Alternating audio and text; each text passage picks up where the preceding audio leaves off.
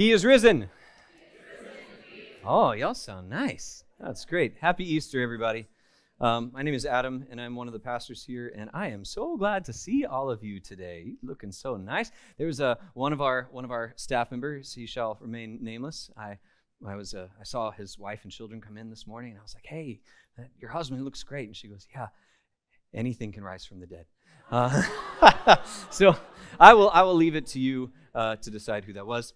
Um, uh, but uh, that I thought, right now I have my opening story. So there it is.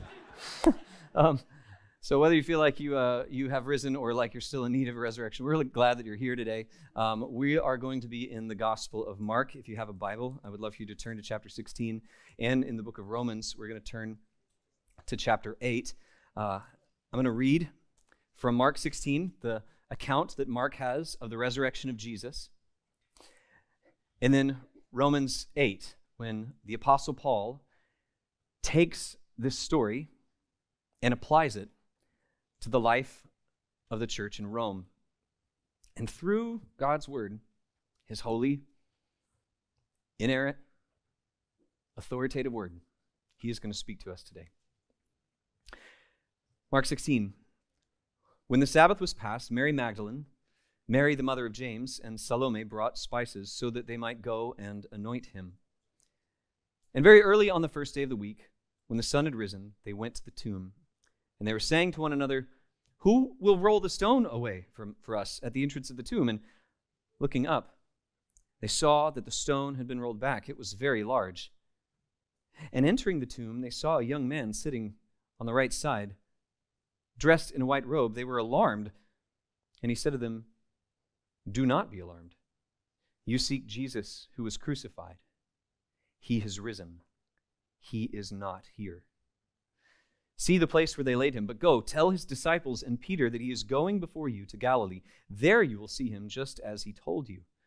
And they went out and fled from the tomb, for trembling and astonishment had seized them, and they said nothing to anyone, for they were afraid. Mm. Romans chapter 8, verses 11 or 10 and 11 say this But if Christ is in you, although the body is dead because of sin, the spirit is life because of righteousness. If the Spirit who raised Christ Jesus from the dead dwells in you, he who raised Christ Jesus from the dead will also give life to your mortal bodies through his Spirit who dwells in you. This is the word of the Lord. Lord, thank you for this word. Thank you for our time together. Holy Spirit, would you speak to us? Help us today to see the truthfulness of the story of the resurrection. And not just to see it, God, but to, to live in light of it. God, it's so easy to just kind of show up on Easter and sit there and spectate and then go and have lunch or whatever it is that is our habit. But Lord, days like today, they, they puncture our regular rhythms with the truthfulness of the gospel story. So I'm asking that you would do that today and that we would go from having an interesting lecture about you to an encounter with you. Do that with us, God. We, we don't want to leave until you have shown up, Holy Spirit. So come and move in our midst and in our hearts, I pray, in Jesus' name. Amen. You can probably tell from the graphics that you see everywhere that the, the big idea or the theme of uh, our sermon today is that everything can change. Now, if you look at that and you kind of divorce the idea from the, the gospel of Christ, it, it sounds like something that you might even see on, on like a self-help section of the bookstore, right? Because we in the United States, like we're really into doing whatever we can to, to change. Like however we need to lose five pounds or gain five pounds or grow our hair back, or uh, that one's for me, or uh, the Bible says if a man is bald, he is clean. And so that is my, I have it tattooed right now. Um, but whatever it is that we don't like about ourselves, we, more than any other culture on the planet, will spend money and time trying to improve that part of ourselves. I have mentioned this before, but I'll say it again. We in America spend more money in, on the self help industry than the poorest 86 nations in the world have as their gross domestic product. That's a lot of money. Now, you'd think for all of that investment, we would be living our best lives, and we aren't.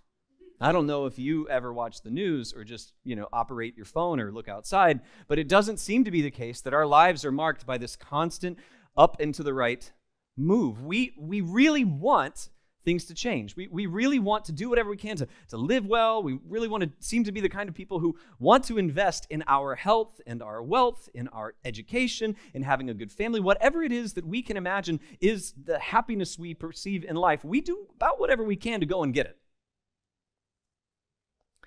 But can I can I give you some bad news on Easter Sunday?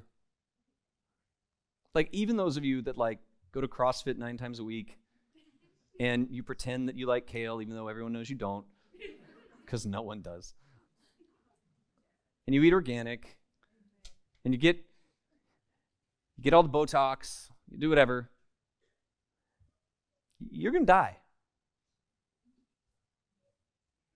Now you're really quiet like that's a surprise to you.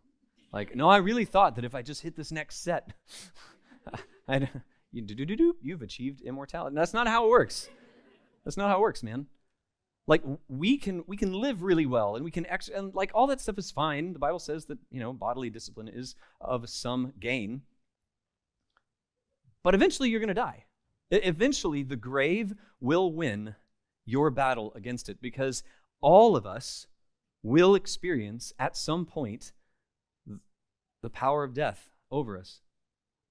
And so, if this is it, if, if all we're doing is coming together and, and we're sort of reminding ourselves of a, of a, you know, a Christian sounding fairy tale or myth, then all we're really doing, at best, at best, is to put some window dressing and decorate death.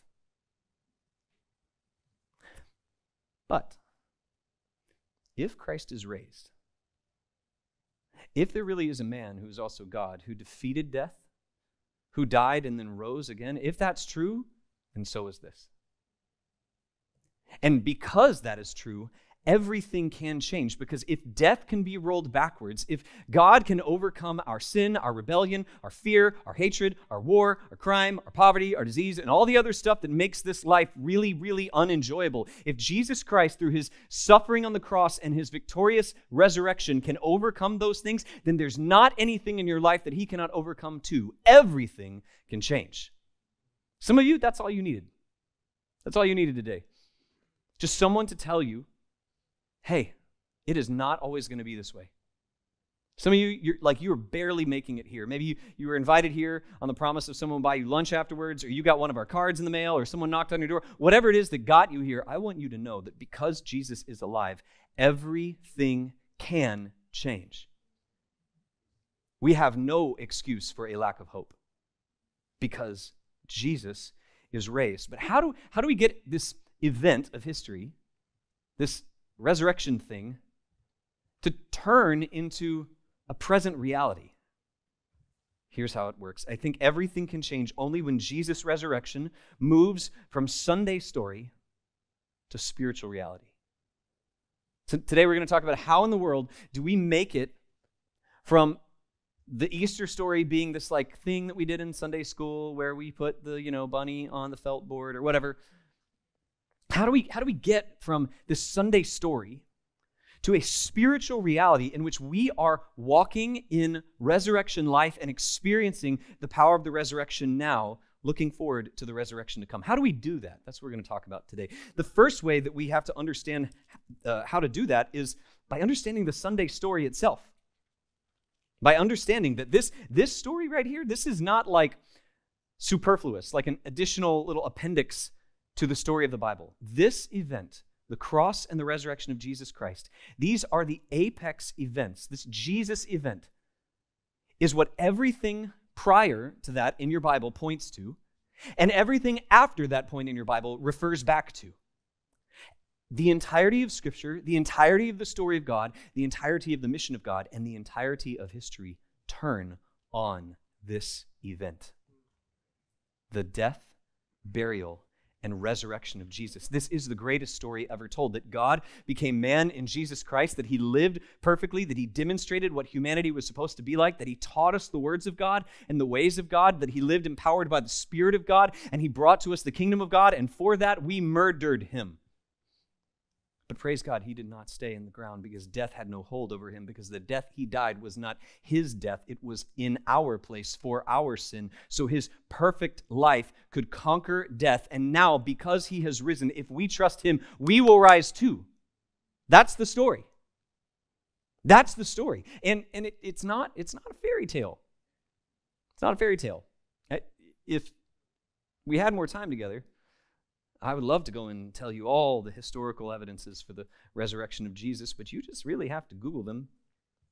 Some of you might say, well, yeah, I mean, it's a story, but like, you know, it's like a fish tale, right? Like, you went and caught a fish that was this big, and you told your buddy, and when your buddy told the story, it was this big. And when his dad heard him, it was this big. And by, you know, you do that for a thousand years, and Jesus is risen, right? The only problem with that is everything about history. You say, well, how can we really know? Like, didn't they just make this sort of thing up? No, the story of the resurrection wasn't cooked up in the third century or the fourth century in a room filled, you know, under under the catacombs of Rome, trying to people popes with big hats consolidating their power. I'm afraid no such room and no such thing ever happened. No, we've got ample historical evidence that attests to the resurrection of Jesus. In fact, we've got more documentary evidence, ancient documentary evidence, about the resurrection of Jesus actually happening than we have about the existence of Julius Caesar or the words of Plato and Aristotle. We have over 5,000 extant manuscripts from within 150 years of these events that we have now. 30,000 ancient manuscripts in total. Do you know how many copies of Caesar's Annals, his biography, we have? 10. 10. 10 10 copies of the document that tells us about the late Roman Empire. If we're going to be honest about the way we do history, we got to take this story really seriously. We got to take this story really seriously because this is a story that actually happened. And the reason that's really important is look, if it's just a fairy tale, it has no claim on you. But if it's true that Jesus Christ is who he said he claimed to be and got up out of the grave, you have to deal with that. There's no neutral on that. He can't any longer be just like a nice teacher. He can't any longer just be like an interesting figurehead of a religion. He has to either be accepted and obeyed and followed by you or rejected by you. But there's no middle ground. This is a story that happened. And only when this story that happened moves from Sunday story to spiritual reality will we begin to walk in this powerful ability to change. So, when Paul wrote about this event, reflecting on it, here's what he did. He said this If Christ is in you, Though the body is dead because of sin, the spirit is life because of righteousness. You see, Paul understood that the connection, the connective tissue between the resurrection of Jesus that Sunday morning and your life right now is the Holy Spirit. And here's the kicker the Holy Spirit in you is the same Holy Spirit that raised Jesus from the dead. You say, well, he was Jesus. Yeah, yeah. But you're not listening. The same Holy Spirit that raised Christ from the dead, that caused his dead heart to beat and his blood begin to flow again, the same blood that saves you from your sins, and his body to rise up again, the same body that was broken for your sins, and oxygen to enter his lungs, the same lungs that taught you about the words of God and exhaled their last when he said, It is finished. That same Holy Spirit that did that to the body of the Son of God can do that in your life now. That's what he's saying, and that's crazy if it's true. If it's true that the same Spirit, the same powerful presence of God that raised Christ from the dead now dwells in the church, then, my friends, everything can change. Everything can change. Everything about your situation, everything about your emotions, everything about, about how you're approaching your future, everything about your everything can change. That's not saying everything will change, but if Jesus can roll death backwards, I feel like depression's just sort of a lesser miracle. If Jesus can get up out of the grave, I feel like I feel like he's going to meet your needs. You know? How do we move this from Sunday story to spiritual reality? The connective tissue is the Holy Spirit. So he says, if Christ is in you, well, how in the world does Christ get in? That doesn't make any sense. It only makes sense if it's by the Holy Spirit. See, here's what's crazy. At Pentecost, that event after the resurrection of Jesus, after the ascension of Jesus, the Holy Spirit was poured out into the church. And this church, this group of like 11 cowards, one of whom was a terrorist and the other killed himself. This is not a winner's circle, all right? This group of people got turned into the most courageous apostles that we could ever imagine. How does that happen? It doesn't happen for a myth. You won't die for something you know is false. You just won't. So, like someone who's really nuts will, maybe, but not 11 of you. The same Holy Spirit was poured out into the church, and this movement began to explode and grow in the face of fierce opposition. If Christ is in you, what he's saying, although the body is dead because of sin, the spirit is life because of righteousness. This is so cool. He's saying, look, your body, dead. So all the all of the vitamins, all of the nutrients, all of the CrossFit, all of that, all of the all of the kale, all the stuff I already talked about, all of that, you're still going to die. But here's the good news: even though that's true, even though death will eventually have your body, the spirit is life because of righteousness, not your righteousness. Thank God. And not mine. Because of the righteousness of Jesus, life can flow into you. The Spirit is life because of righteousness. What does that mean? That means you can experience resurrection life now, even though your body die. That means even though eventually you are moseying to the grave, your inner man, your inner woman is getting holier, is getting stronger, is getting filled with more life, more peace, more joy. You know crazy thing about Jesus? When he walked up to sad people, sick people, dying people, the law told him he was to stay away from them because their death would like defile someone. But Jesus was so filled with life the life of God, the life of the Spirit, that when he walked up to the dead, when he walked up to the sick, when he walked up to the dying, his life was imparted to them. Why? You say, well, because he. No, that's not what the Bible says. Because the same Spirit that dwelled in him now dwells in. Because the Holy Spirit was so powerfully alive in Jesus that his body was filled with the life of God. I think it's very good news that Christianity is not religious cognitive behavioral therapy. CBT is great. Try it if you need it. But we're talking about power. We're talking about resurrection power, whereby the life of God, the joy of God, the peace of God, and the goodness of God can come flooding into the human soul if we ask, if we trust, if Christ is in you, that happens when you turn from your sin and you trust Jesus. You say, Jesus, I want to pledge my allegiance to you. I want to ask you, be my Lord, be my Savior, be my treasure, be my master, be my friend. I want to follow you with my whole life. And when that happens, the Holy Spirit comes to dwell in you. Christ himself, by his Spirit, comes to dwell in you. And Paul is saying, if Christ is in you, then all the bo- although the body is dead because of sin, the Spirit is life because of righteousness. That is some good news. And then, as if it couldn't get any better. He says this If the Spirit who raised Jesus from the dead dwells in you, he who raised Christ Jesus from the dead will also give life to your mortal bodies through his Spirit who dwells in you. So here's what he says He says, Look, although the body is dead because, look, you're dying, but good news, the Spirit can bring you life and joy and emotional vitality and, and peace in your inner man, your inner woman. That's, that's good. All, even beyond that, the Spirit that raised Christ Jesus from the dead will also give life to your mortal bodies. That means if you trust in him, you will rise, be given a body like his. You will be alive in his presence. You will live with him in his presence forever. But guys, I'm not talking about like sort of a dream state, kind of zen, becoming one with it. I'm not talking about that. I am talking about your physical body being made alive again to live and breathe and move in a renewed physical world that is no longer characterized by death, decay, and disease, where God is so present with you, you don't need light anymore. And the next 10,000 forevers are constantly better than the ones before them because of the one for whom you are living again. That's what I'm talking about. Paul is saying the same Spirit, the resurrection power of Christ, can do this in you and in me. Therefore, if we accept Christ as our King and we turn away from everything the Bible calls sin, then the Spirit who is life moves in. And when the Spirit moves in, then death is no longer our final story. Resurrection life, everything can change as Jesus' resurrection moves from this Sunday story into spiritual reality. And I have great news for you it can. It can. We don't have enough time for me to share with you the stories of how God, in the power of His Spirit, has changed my life, has moved in my family, has moved in this church. But stick around. Stick around. You'll hear those stories. We hear those stories because we read your connection cards when we pray for you. You'll hear the stories after stories of the Holy Spirit working miracles in the life of God's people. I'm telling you, if this is true, and it is, then everything can change. And here's the deal your attempts at self change and self improvement, they just aren't enough.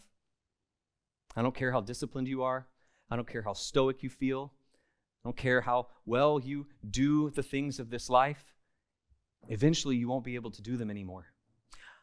But there is life beyond the grave. There is life that can be imparted to you through the same Spirit that raised Christ Jesus from the dead. Because he is raised, everything can change for you, and you can live with him and for him again. The real question is do you actually want to?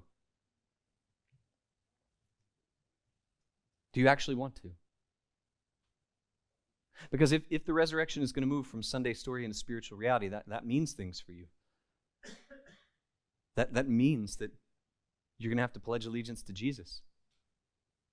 That means that you're going to have to turn and trust the Savior. That means that some life change is going to happen. Maybe some of you in this room, though, you're, you've hit enough of life's difficult spots to go, you know, I've been trying to do this on my own, and it doesn't work very well.